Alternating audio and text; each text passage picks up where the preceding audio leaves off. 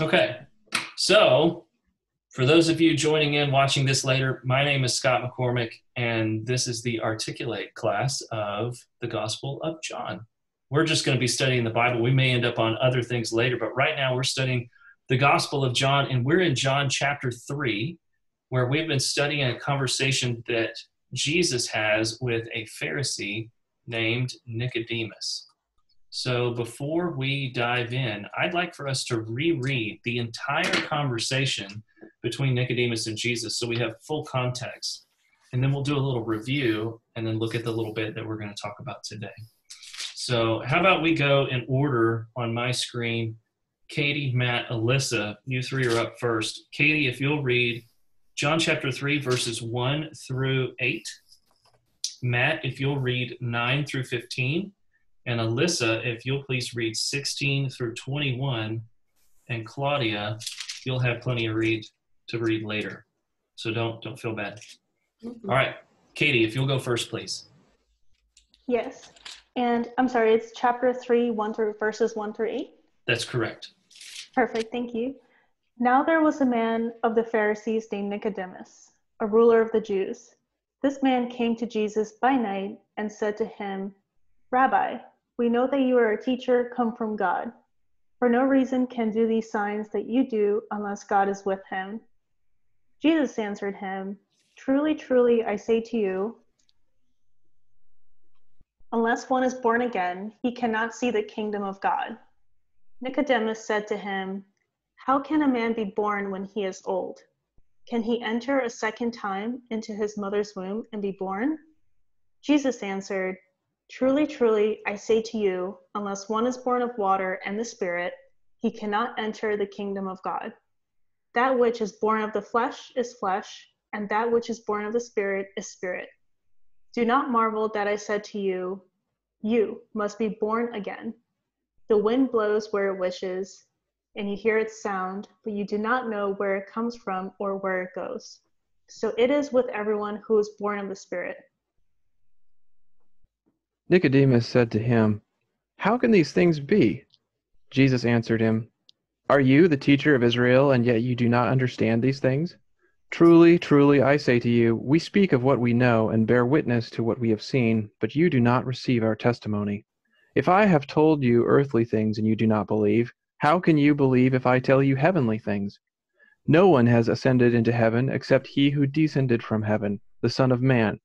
And as Moses lifted up the serpent in the wilderness, so must the Son of Man be lifted up, that whoever believes in him may have eternal life. For God so loved the world that he gave his one and only Son, that whoever believes in him shall not perish, but have eternal life. For God did not send his Son into the world to condemn the world, but to save the world through him. Whoever believes in him is not condemned but whoever does not believe stands condemned already because they have not believed in the name of the God's in the name of God's one and only Son. This is the verdict. Light has come into the world, but people loved darkness instead of light because their deeds were evil. Everyone who does evil hates the light and will not come into the light for fear that their deeds will be exposed. But whoever lives by the truth comes into the light so that it may be seen plainly that what they have done has been done in the sight of God. Very good.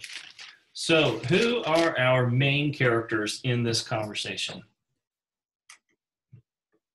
Jesus and Nicodemus. Jesus and Nicodemus. Now, it's not unlikely that his disciples were also there with him when Nicodemus came to, to see him, but they're not mentioned and they don't speak. We just see Nicodemus and Jesus' conversation here. Sorry. And what do we know about Nicodemus?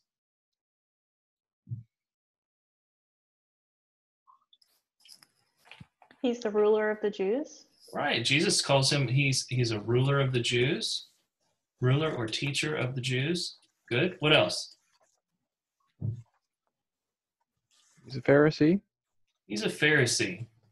Now, a Pharisee as opposed to what other ruling party in the Jewish leadership? Uh, as opposed to Sadducee. Yep, as opposed to Sadducees. And what, what what's different between these two parties? what made him a Pharisee and another guy a Sadducee? Uh, the Pharisees were very focused on the law and believed in righteousness by works. That's right. Focused on the law. Are you reading your notes? Yes, I am. Good girl.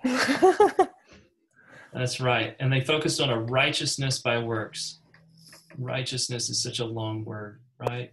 Righteousness by works. Very good. Now, as opposed to Sadducees, these were guys that believed that there was no afterlife, no resurrection from the dead. As a result, they didn't believe in other spiritual beings, no angels. They didn't believe in anything other than the first five books of the Bible. And they were very materialistic. They were seeking rewards in this life, as opposed to the Pharisees who sought rewards in the next life, but by doing so under their own willpower, under their own strength. And here Nicodemus comes to Jesus by night, likely either because he was afraid of what others would think or because he just wanted some intimate time for the two of them to talk. Whereas Jesus, during most of the day, was crowded by all sorts of people coming up to him because of the signs that he did. And after his sort of introductory statement to Jesus, Jesus hits him with a hard truth. And he starts it with this phrase that we're going to see again today truly, truly. And why does he repeat that word? What does that mean when he says it like that? It's, it's an emphasizer. Sorry. Yeah, it, it's it's emphasized. It's raised to the next level. This is similar to what we saw in the book of Isaiah when Isaiah saw the Lord on his throne. He was given a vision of the throne room of God, and around the throne were the angels of God who were singing, Holy, Holy, Holy. The holiness of God was lifted up to that third level. Here, the truth of this statement is lifted up to a, to a second level. This is a very true statement. Unless one is born again, he cannot see the kingdom of God. You must be born again. This is a necessary condition, or born from above is another way to interpret that Greek. And both are true here. This is a second birth, this is a spiritual birth or a supernatural birth. And this this being born again, the theological word for that is regeneration. Regeneration. It's sort of like if um, this is a this is a bad example, but I'm going to use it anyway. It's sort of like if you go to pick up a lizard and its tail falls off, and then its tail grows back. Sometimes we say that it regenerates. So here, this is something that has to happen inside you: a growing, a birthing, a a something that happens to you on the inside, and it's done to you by the Spirit. And Nicodemus's response is, "What? I what?" He gets this he gets this frown on his face with question marks like this, and says, "How can a man be born when he is old?" And he asks this question: Can he enter a second time into his mother's womb? And Jesus turns those words right back around on him. In verse 5, he says, Truly, truly, there's that truly, truly again.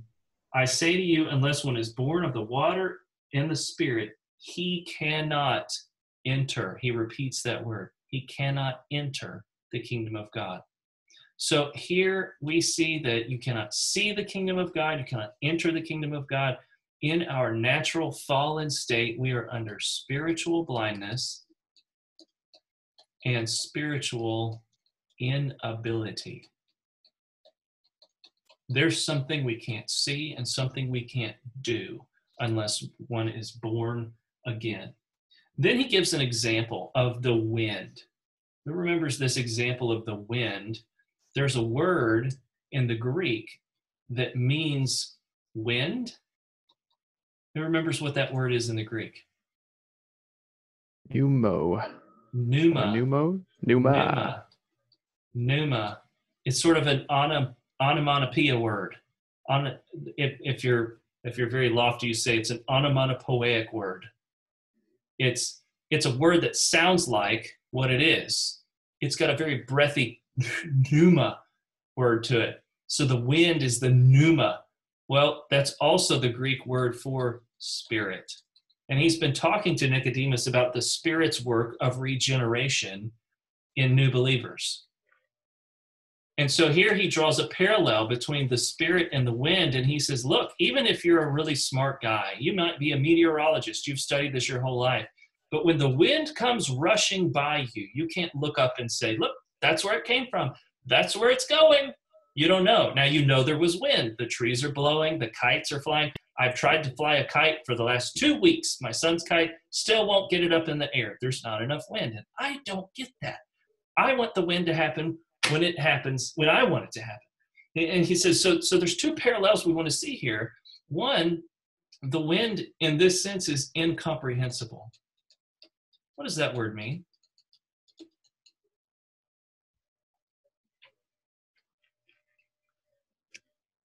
Can't understand it. Can't, can't understand it. Know Does it. it mean you can't understand anything about it? Or does it mean you can't wrap your mind around it entirely? Mm-hmm.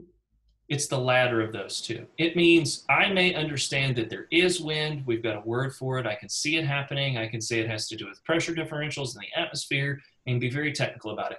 But I can't totally wrap my mind around it. I can't see all the wind in the whole world and what it's doing and predict what's going on. So it is with the Spirit.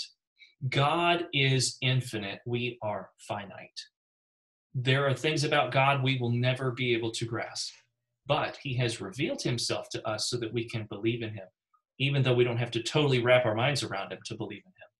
The second parallel here is that the Spirit is sovereign. The wind blows where it wants to, the Spirit moves where He wants to. He is a person with a will who does His own thing. We've been talking about the new birth back in chapter one that, that you were born not of the will of the flesh, nor of the will of man, but of God. That this is God's will, that this should happen, and He does it when He wants to. So that's where we finished up last week, was with this picture of the wind. And Nicodemus's response now changes a little bit. He had that frown on his face, and now he's sort of like, wow, I, I'm I'm sort of blown away by what you're teaching me here. I these are things that I've never heard of. Claudia, reread for me. You're going to get to read a lot more than this, but reread for me his response in verse 9 to what Jesus is teaching. So he was, his responses are, "You, the the teacher of Israel, and yet you do not understand these things." These things. Oh, that's that's verse 10. I mean Nicodemus's response. How can these things be? How can these things be? He's he's he's marveling now at this point. This has nothing to do with superheroes. This is sort of like a wonderment. This is um, he's sort of in awe of what Jesus is telling him. And and so then you rightly say in verse 10, Jesus says, Are you the teacher of Israel, and yet you do not understand these things? Mm-hmm. he uses this phrase, teacher of Israel. And we've been talking about how, as a ruler of the Jews, Nicodemus was likely a member of the Sanhedrin. This was the ruling body of the Jewish community. And at the top of the Sanhedrin, there were three main positions. Uh, one was more of a teaching position. Their job was to exposit scripture, to get it out and actually teach the people. One was more of an administrative position. There was another that was more of a a, a wisdom position, they were an advisor. And in these three different roles, um, and Nicodemus could possibly have been one of those. But calling him a teacher of Israel is, at the very least, pointing to his role as being someone who's supposed to understand Scripture and explain it to the people. If you're going to explain it, you better know it really well. And he's trying to tell Nicodemus that the things he's teaching him are not new they're in the Old Testament. These concepts of a new birth, this concept of the Spirit, uh, this concept of the sovereignty of God in salvation, these are all captured in the Old Testament, and Nicodemus should have been aware of them. And so he says, you know, and then I and then I tell you, and you're giving me these question marks, and you're sort of marveling at this, and you're not sure if you want to believe it yet. So in verse 11, Jesus says, Truly, truly, I say to you, this is that third time he said this. We've had three very true statements now. You must be born again, unless you're born of water and the Spirit. And now he says, I say to you, we speak of what we know and bear witness to what we have seen, but you do not receive our testimony. Well, now this is another one of those situations where, like back at the beginning, when Nicodemus first started this conversation, he used this word we. He said, We know that you are a teacher come from God. And and and just like that time, now Jesus is using a third person plural. Uh, that's that's wrong. First person. This is first person plural. And clearly, he's including himself in this. But like my wife would say, "What? What do you have a rat in your pocket? What are you talking about? Who's this we?" So, I I've read multiple commentators on this this week, and every single one of them had an opinion about what the we was, and every single one of them said it was a different we.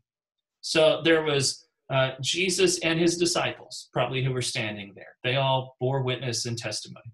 Maybe it was Jesus and John the Baptist. This is the guy who came before him. Nicodemus likely saw him and what he was doing, things like that. Everybody's heard about John the Baptist those days. Maybe it was Jesus and the rest of the Trinity. So God the Father, God the Son, and God the Holy Ghost. Maybe it's Jesus using the um, the royal we, sort of like we know these things in a, in a way to say one must know these things. It's sort of like an, a, a, a superior way to say we, but really you. Okay, so so which one of those is it? Well, it doesn't say, and that's okay because that's not really the point of that sentence. The point here is he is he's saying, look, we are bearing witness. In some translations, you'll see this word testimony. In both of these cases, this is that, that those legal words being used again. That the, the Gospel of John is sort of laid out as a legal defense of who Christ is and why you should trust and believe in him. And so he's saying, we bear witness to what we know and have seen, but you don't receive this testimony. You're rejecting our testimony. Now, in a court of law, when you give witness or you bear testimony, it's because you're expected to be an authority on a given subject. So, one example of that is a crime happened and you saw it. That gives you eyewitness testimony to that. Another way for you to, to have authority to give testimony in a court of law is let's say you're an expert on a particular subject that's related to what they're discussing in the court.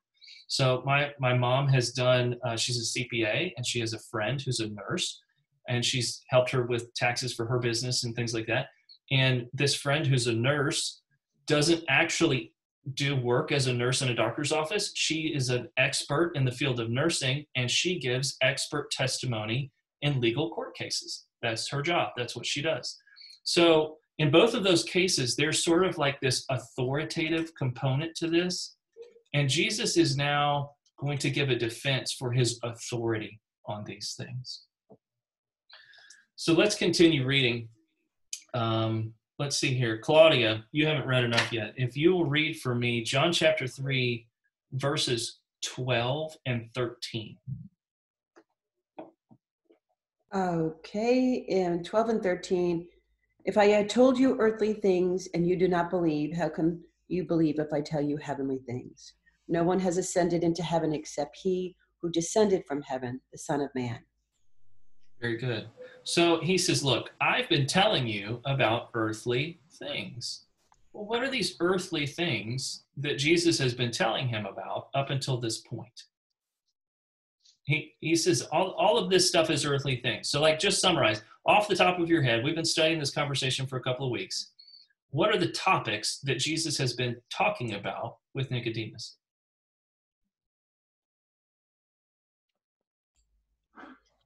Uh, being anything that's born of the flesh is flesh and born of the spirit is spirit. He's talking about. So he's talking about the difference between the, the first birth and the new birth? Right. Good. What else? There's a there's a word picture that's that play on words between the word spirit and wind, and what's that all about?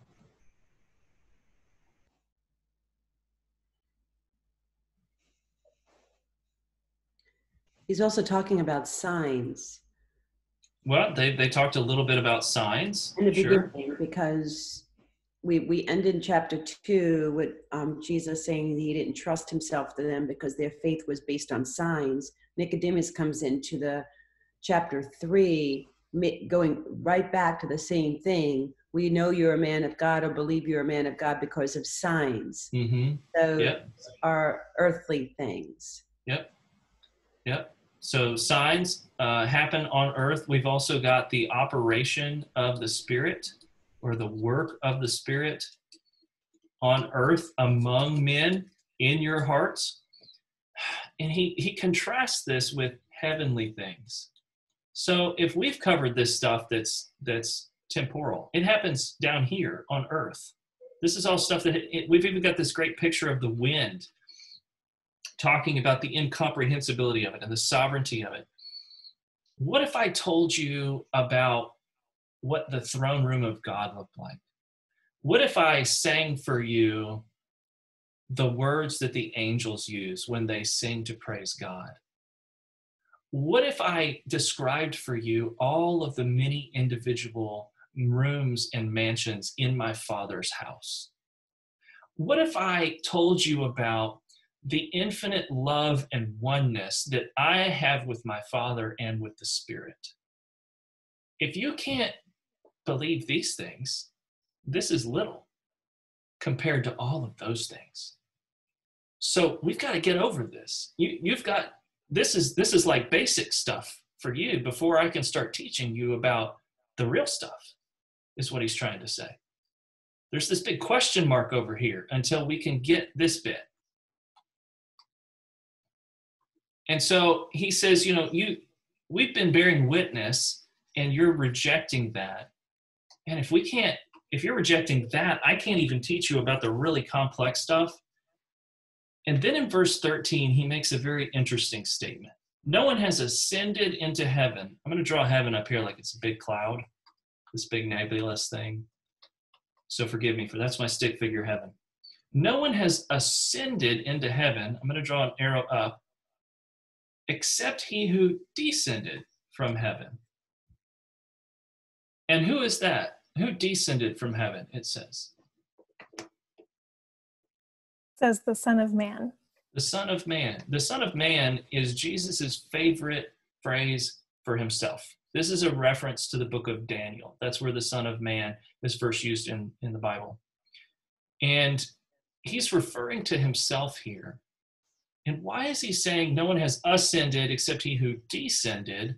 Really, this is a roundabout way of saying if I want to tell you about heavenly things and about spiritual things, and you're questioning my authority on that, there's this axiom where, you know, for you to be able uh, to give an eyewitness testimony to something, you actually had to have seen it. You had to have been there when it happened. Well, guess what? Jesus has been there when it happened. He was in heaven. So he is an authority on these things because no man on this whole earth, no man, woman, or child had ever ascended into heaven to then be able to come back down and tell us about these things. But Jesus, question. say that again? I have a question. Yes. So there's a couple of different ways that Jesus is referred to. Sometimes you'll see as Son of God, Mhm. and right here is Son of Man.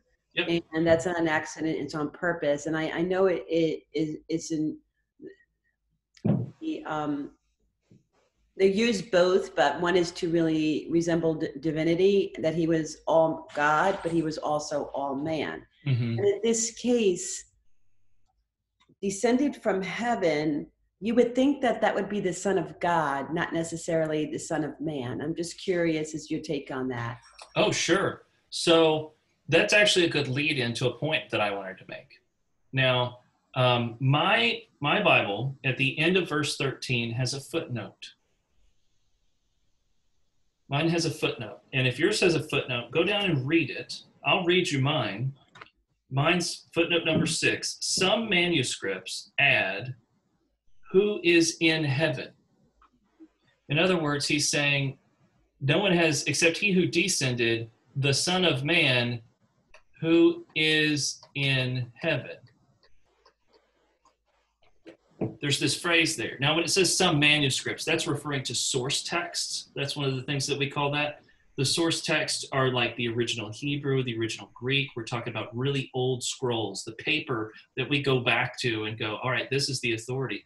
And we have literally thousands of copies of source texts that are used and compared and translated and studied in order to give us as accurate of an English translation as we could. And some manuscripts include that phrase and some don't. If you were reading a King James Bible, it would include that phrase in the main text. I have an ESV and it's included in a footnote. Now, why is this phrase important? I want us to notice the tense of this verb. Who Yeah, it's, is. it's, it's, present tense, but that's like all the more so yeah, to think it's son of God because it's it's the divinity part from Mhm. heaven and present tense. It's the son of man was babe who was born in the manger and the the guy who taught in the temples and taught son of God is divinity and is in heaven. So um, I'm just curious why son of man was used here. Yeah. So, Son of Man is more than just the fact that he was descended from um, from um, from a man. There's a reference to it in the Old Testament that I want to find real quick. Um, really thought. Um, there's references in the book of Daniel, and I tell you what, I'll have to study that this week and, and give you a, a better answer to that. But it has more to do with what the Son of Man was referring to in the Old Testament than just that he was descended from an actual human. That, that's the best answer I can give right now. I'll have to look it up and, and probably answer that better. Um, yes, he is. Th- th- this is one of the points. This is present tense he's standing in front of Nicodemus, referring to himself and then saying that he is also in heaven presently. Well, if he's standing in front of Nicodemus, how is he also in heaven presently? It's not just that he came down from heaven. No, this is saying he's there and he's here. Sort of a hint. I almost gave it away. There Yeah, I some. think it depends on where you're going, but I, I don't think that Jesus himself, uh, as the second person of the Trinity, is omnipresent. So I, I'm not sure that after the incarnation, you, you can't separate his essence. Uh, I- I'd say that right now Jesus is reigning in heaven, but Jesus is not present right here. The Spirit is here, but I guess I question, depending on how you're going to interpret the yeah. who is in heaven, I'm not sure that's saying that Jesus is in front of Nicodemus and in heaven. So this is a hard thing for us to grasp because uh, when we talk about Jesus as the second part of the Trinity, when before creation, before up until the point where he was born as a baby, conceived in Mary's womb, he was fully God. He's God of very God. He's not a created being. He's not second in the order of creation to God. He's second in order of persons within the Trinity, um, but he is fully God. When he was conceived, something happened. He was then at that point also fully man. Now, there are certain creeds and confessions that were developed over time to talk about how does this work? How does it work for him to be fully God and fully man? Does that mean that he's a man that's sort of like a superman? He's got supernatural powers? Or does that mean that there's sort of like two of him? Well, that's not what we think either. And so if you go and study back some of these, um, and I forget what they're called, but they, they would get together for these large conferences and debate this for at length, and then they would write down what they believe based on scripture to be true about Christ's person. That the idea here is that he's both at the same time without mixture. In other words, the attributes of him as God, things like his omnipresence and his omnipotence and his um, omniscience. He is everywhere. There's nothing that can actually contain him. He's can do anything because he's all powerful. He knows all things. These are all still true in that he's fully God, but the man standing in front of Nicodemus doesn't have that stuff mixed in. He's not omnipresent, he's standing in one place. He's not omnipotent. He can't lift a rock that's so big because he's a man. He's not omniscient, but he can be revealed things. Things can be communicated to him by the part of him that's God. This is sort of like really hard for us to wrap our minds around because you and I are not like that. We are finite, we're just one. When we talk about you know being married to a person, we say that they're of one flesh, but my wife and I are of two minds, and her attributes don't transfer to me. And we can't even really be considered as one person except when we just when we talk about the concept of marriage but with jesus he didn't actually leave heaven that's the point that i'm trying to make here he is still omnipresent even though the part of him that is man was standing in front of nicodemus which is sort of mind-blowing to me now did jesus die buried, raised at the third day, and then came an ascension when his body was raised up to heaven? Yes, that did happen. And in that sense, his body is now up there, standing before the Father. But he, Jesus as God, and God is immutable. This is another one of those words we talked about early on in this class. And he's immutable. He didn't lose these attributes for this to happen. Does that make sense? Mm, I'm gonna. This is another thing I'm gonna have to go back and and look up this week because I'm not sure that I agree. If that's if that's the interpretation, then what does it mean when Jesus is telling his apostle, or his disciples, uh, of the coming of the Holy Spirit, and that if he does not leave them, then the Helper would not come. And, and yeah, and too, and I'm not trying to like, Mhm. but another point of confusion is there is he's calling himself the son of man here Mhm. i think it's just definitely worth digging into but there's other times where he's calling himself the son of god and they're very specific times so much so that the jews use that as a reason to crucify him because of Right. blasphemy Right. and so in this case, when we're, we're going back to the context, we're going back to our discussion with Nicodemus here and trying to understand the born again um, conversation. And he's very specifically saying the Son of Man, but it it's a little confusing because he's he's talking about heaven and descending, and he's the only one who has the only one who has descended is the one who has ascended, which is him. I, I don't know. For me, I'm I'm confused because that points to divinity. That points to the omnipresent, omnipotent, omniscient, like that part of it, not the Mhm. son of. So why didn't he use the son of God here instead of the son of man? Um, I know son of man means he was physically present at that, and and we're not talking about post resurrection now. We're talking pre resurrection, but I'm not quite. I, I'm not quite sure. I understand the the difference and and how why and how it's being used that way here, especially what we're talking about ascending and descending. Sure, sure. I, I will definitely look up this week about the phrase the Son of Man. I've studied that in the past, and honestly, I wish I could give you a better answer right now. So I'll look that hard up. one, yeah. Yeah, I don't think, and I may study this and, and find out that I'm wrong. I don't think it has to do with pointing to his manhood versus pointing to his godhood. I think it's it referencing things in Old Testament scriptures that were talking about him, and the phrase used in those Old Testament scriptures were the Son of Man. That they were Old Testament prophecies about him that were unclear until he began to attribute that name to himself now as he came in the fullness of time.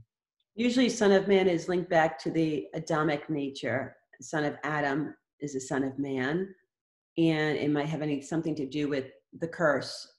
So, I don't know. It's worth all of us looking into. Son of Man is usually um, a lineage of Adam, Hmm. and but again, I, I, the context here with ascending and descending into heaven is just confusing. I don't want to take too much time, but it's No, that's fine. These are good questions, so I definitely want to look it up before I come back next time. things, right? Yeah. Sweet. So, all right. Well, we've got just a few minutes, and I want to make sure we make it to the end of this paragraph. So, if y'all are all right with that, we'll do these last two verses. So, he, he makes this claim about why he has authority to teach these things. It's because he actually is from heaven. And so, in verse 14 now, he's going to paint another word picture, another analogy for Nicodemus to understand. In verse 14, it says, And Moses lifted up the serpent in the wilderness. And as Moses lifted up the serpent in the wilderness, so must the Son of Man be lifted up, that whoever believes in him may have eternal life. Now, here he's talking about this serpent being lifted up in the wilderness.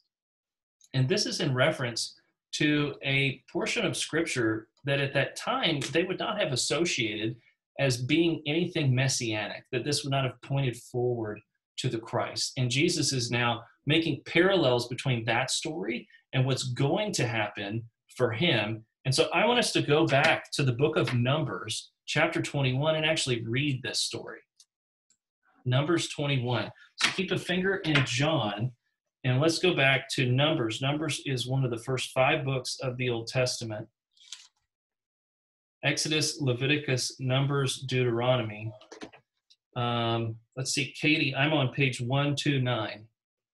129 is Numbers 21. So this is in that time in Israel's history when they were wandering through the wilderness and they were getting in trouble with God all the time, always complaining about one thing or another.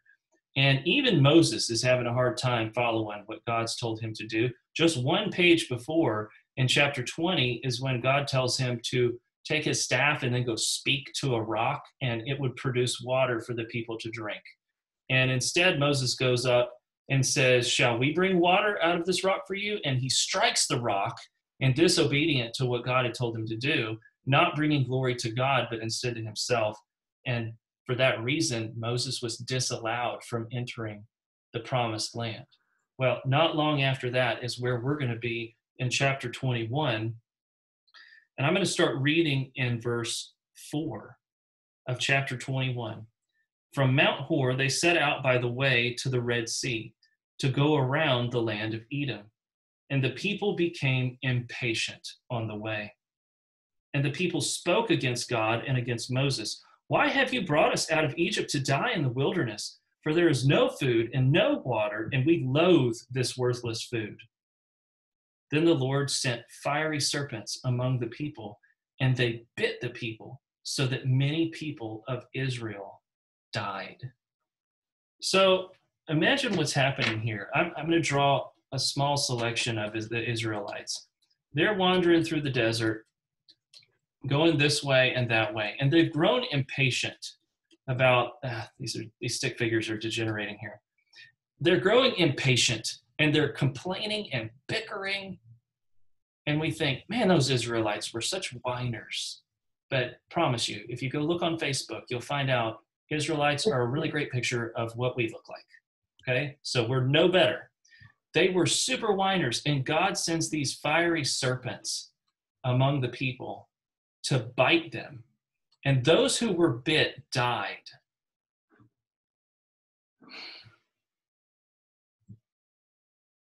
They died because they complained. Think about that for a second. When's the last time you complained about something? For me, it was today. I say. Okay? Uh, pretty often. Today. It was probably multiple times today. They died as a result. And so they get the picture real fast.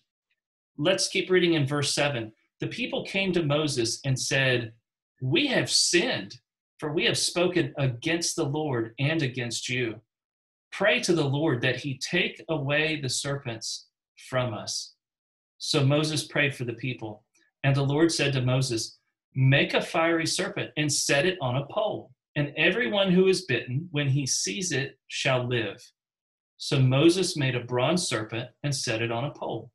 And if a serpent bit anyone, he would look at the bronze serpent and live. So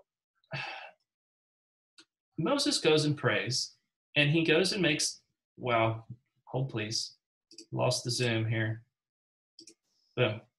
So he goes and prays, and God tells him, take a take a pole and make this bronze serpent on it. That sort of look familiar. That's my stick figure version. And if anyone is bitten, he can look at it and he will not die. And Jesus is now making a parallel between that image and himself on the cross. As the snake in the wilderness, as the serpent in the wilderness was lifted up, so must the Son of Man be lifted up, that whoever believes in him will not perish. Now, what are some of the parallels that we can see here? Well, A, there's the obvious being lifted up onto a pole. Jesus is lifted onto the cross as the snake was lifted up. Another thing to note here is that this, this serpent, it wasn't a poisonous serpent. It was a bronze serpent. It didn't have any poison in it. But it was made in the image of, it took on the form of the poisonous serpents. And Jesus, in a similar fashion, put on the cross imputed on him in that moment was all the sins of the world, of everybody who would ever believe in his name. And they were punished on him. He was brought forth in the likeness of sinful flesh. He died on the cross as though he were a sinner. In the same way that this non poisonous bronze snake was an image of, a representation of the sin, or I'm sorry, of the serpents that were going amongst the people and they had to look to it. They had to have faith that if they looked to it, they would be saved. In the same way, when we look to the cross, it's not just a fact that we believe in, there is saving faith in the power of Christ to save us in that moment. That we trust in his ability to save us from the wrath of God for our sins. Now, there's a question that I want to ask you that's timely, but it's awkward the snake bit the people, the, the serpents went amongst the people and bit them. And they said, Pray to the Lord that he take away the serpents. Did God take away the serpents? No. He didn't. He didn't. Instead, he made a way for them to be saved, even though the serpents were still there. They didn't go away this is awkward, but I've been praying a lot lately. God, please take away this coronavirus tragedy. Just make it stop. And He doesn't always do that. Sometimes He allows these tra- tra- tragic things to continue to happen for His glory. In this situation with the Israelites, they were saved. God was glorified as a healer and a savior of His people. And that pointed forward to now the picture Jesus is painting for Nicodemus, giving glory to him, saying, pointing back, saying, just like that happened, I'm going to do that again, and you're going to get to watch that.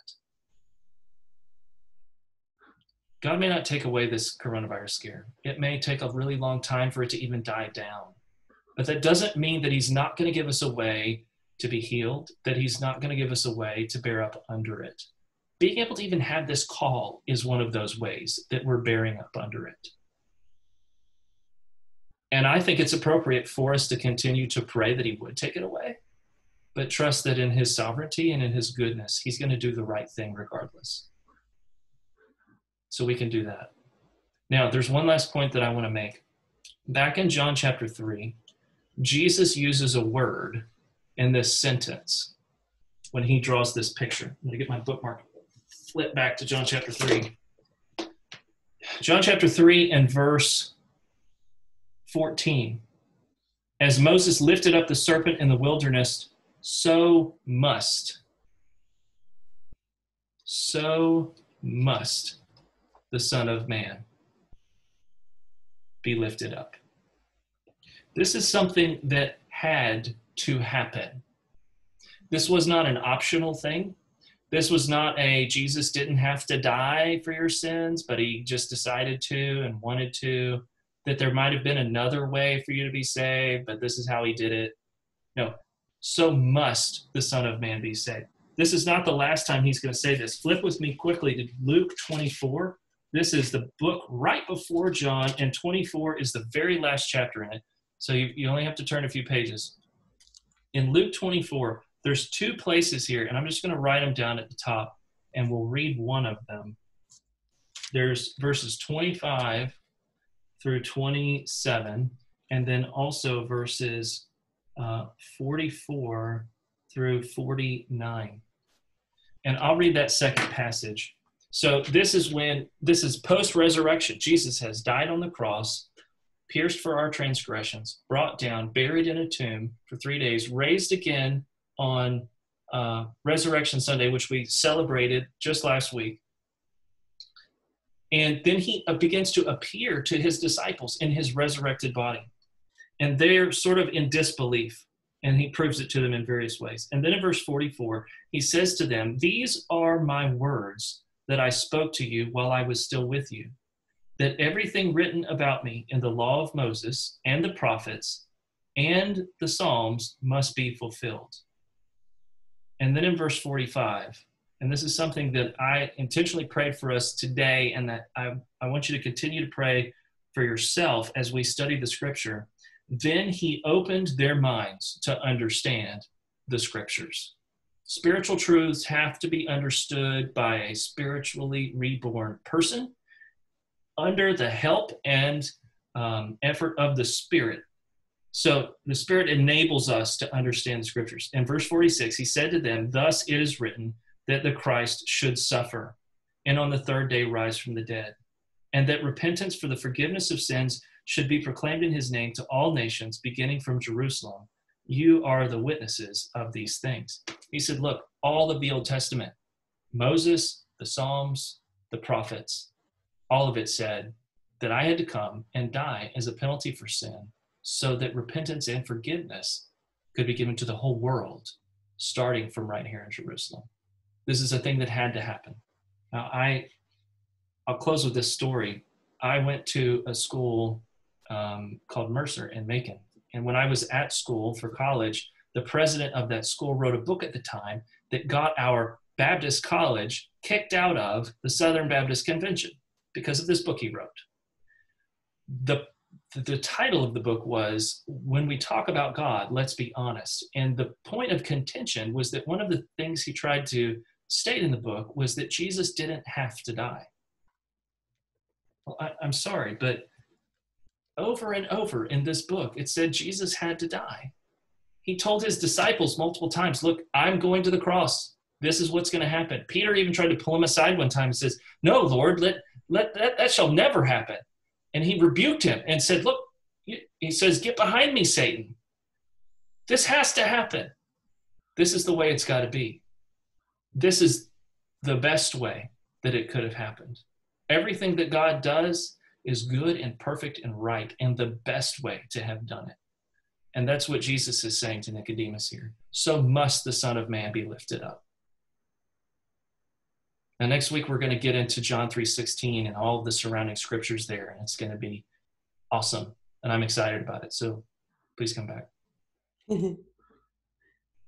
Any other questions before we go? I know we got we ran over just a teensy bit. This is not a question, just a comment. But um, I I really enjoy personally when we have conversations about things like we did today regarding the Son of Man and and just kind of talking about these intricacies. And I think it's a great challenge for us to go and over the week study that for ourselves and see mm. what we learn. Um, I personally have a couple of apps on my phone where I'll study um, commentary from John Calvin and Matthew Henry whenever I reach things like this where Mhm.